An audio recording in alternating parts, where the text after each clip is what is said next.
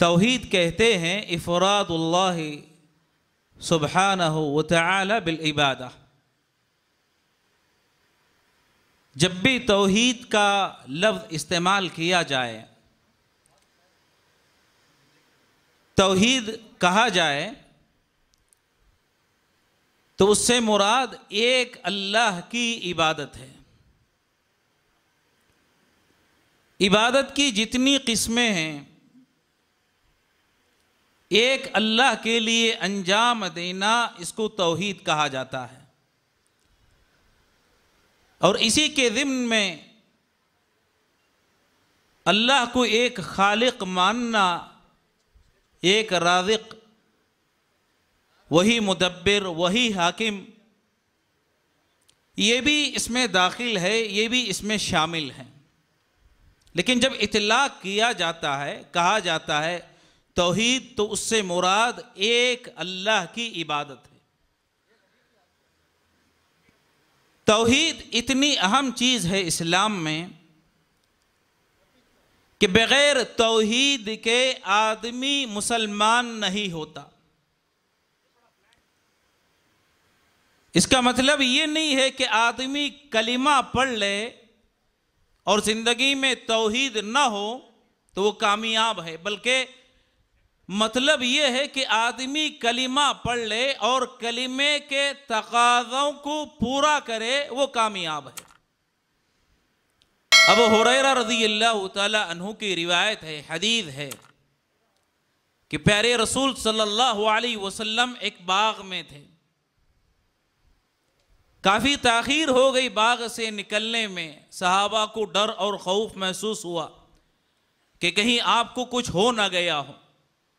अब हुरैरा पहले सहाबी थे जो नबी सल्लल्लाहु अलैहि वसल्लम को तलाश करने के लिए निकले। तो देखा कि नबी सल्लल्लाहु अलैहि वसल्लम बाग में बैठे हुए हैं।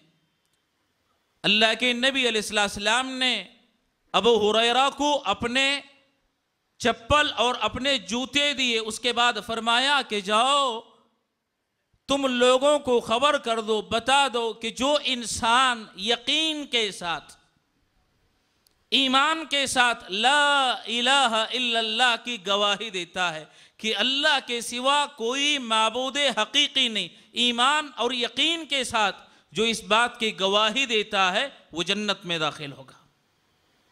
तो गोया कि यकीन और ईमान के साथ तौहीद पर जम जाना, इस्तकामत इख्तियार करना, ये कामयाबी की निशानी।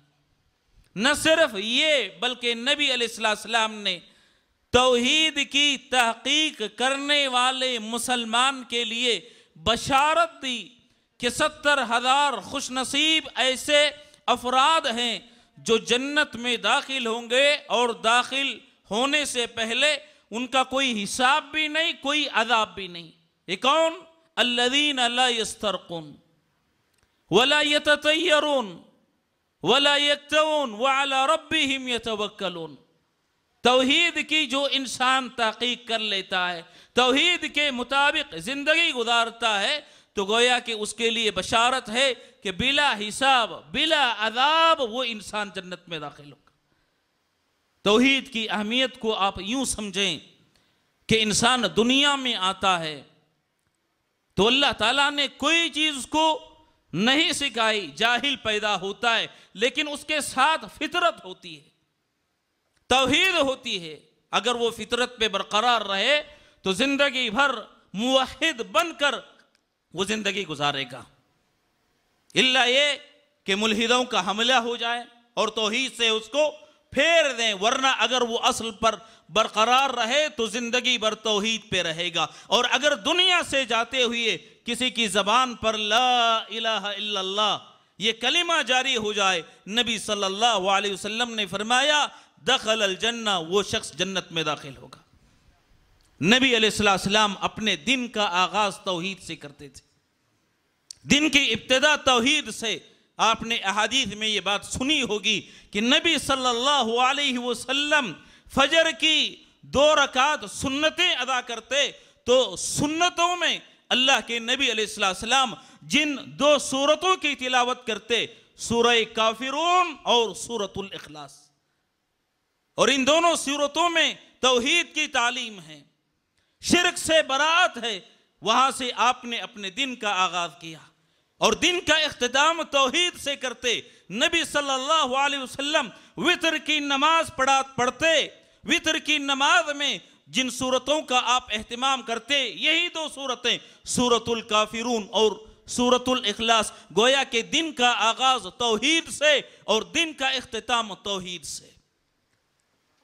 मेरे मोहतरम मुसलमान दोस्तों, तोहीद इतनी बड़ी चीज़ है कि आप अंदाज़ा लगाएँ, वो रब करीम मुसलमानों से, इंसानों से खिताब करते हुए कहता है कि ए आदम की औलाद, ए आदम की औलाद, ज़मीन भर गुनाह लेकर तुम मेरे पास आता है, मुझसे मिलता है इस हाल में कि तूने मेरे साथ किसी और को इबादत में शरीक नहीं किया, शामिल नहीं किया तो मैं गुनाहों के बराबर मगफिरत लाने के लिए तैयार हूँ।